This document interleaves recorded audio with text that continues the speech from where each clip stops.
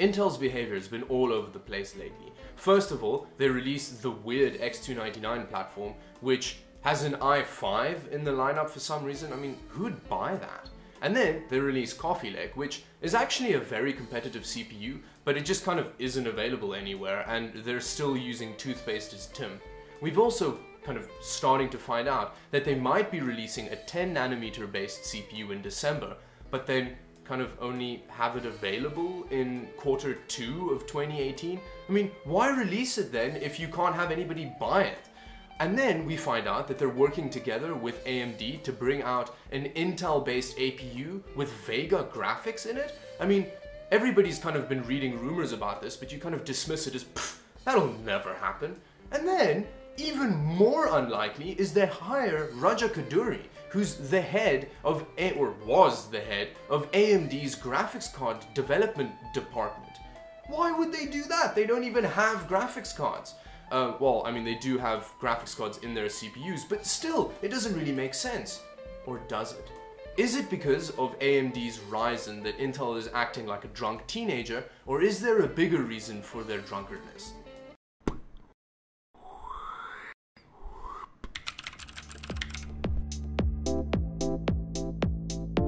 Now, the first reason on everybody's lips for why Intel is acting like a chicken with its head cut off is because, well, Ryzen, obviously. Ryzen has come into the in, in, into the CPU marketplace and is just absolutely dominating Intel. AMD's market sales share has gone from 27% back in March to over 50% in August. That's terrifying to a company like Intel because, well, the desktop market space is quite a big part of their actual income. Although they they're more worried about their actual server part because their Xeons, it's it's just an absolute money racket. They're making so much money off the Xeons. And yes, Threadripper and Epyc are are quite dangerous in this marketplace, but I think because of how the buyers of that kind of CPU work, they're probably going to go with Intel because well, they're more trusted in this space, I guess. I base this information purely on speculation. I don't have any actual insight into this though. But I think that this isn't the main reason that Intel is acting so crazy. I think the company that's terrifying Intel the most at the moment is actually Nvidia. Now, you might think, why would they be worried about Nvidia? They're not even competing in the same space. Well, in the consumer desktop arena, they're not competing in the same space, but they're competing in the same space in something that's even potentially way more lucrative in the future, and that's AI. Now, AI is something that I don't understand the processing at all, to be honest. Um, and if you do understand it, please do let me know in the comments. I know it might be a bit of a type out, but please help me out here. But apparently, AI processing is broken up into two parts. First, there's just kind of training the AI algorithm. Um, and then there's executing the AI algorithm.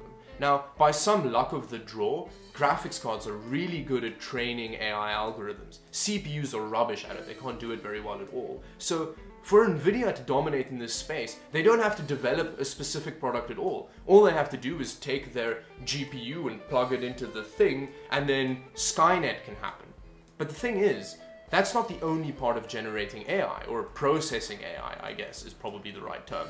And you might just go, well, all Intel has to do is create a, a, a, processing thing that's very good at actually executing the AI algorithm that NVIDIA's GPU generated.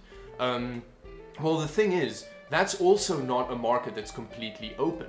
Uh, Intel's been bombarding it with new products for a while now. Almost every week you see a new article about how Intel is releasing a new product that's gonna it's usually ASIC based and it's gonna dominate the AI executing space. Um, but they have a competitor in that space as well, which is the quite famous Qualcomm. Now, Qualcomm competing with Intel is also not something that kind of makes sense because Qualcomm makes makes uh, phone CPUs and sues Apple. Like, what does that have to do with with with Intel? But they actually have a, a processor on the market that's extremely good at executing AI functions. So it means between Nvidia and Qualcomm, there isn't much space in this market for Intel. Um, but Intel wants to change that because, well, all of the money is going to go to AI in the future because, you know, Skynet is a very hungry, money hungry endeavor. Now, that's one of the reasons I think, or it's probably the main reason I think, that Intel hired Raja Koduri. Now, in the official release, um, Intel was saying that they hired Raja Koduri because they want to develop their own actual discrete GPU. But why would Intel want to develop a gaming GPU? I mean, they apparently tried or wanted to back in like 2007, and well, everybody just made a huge joke of it and it just kind of didn't ever happen.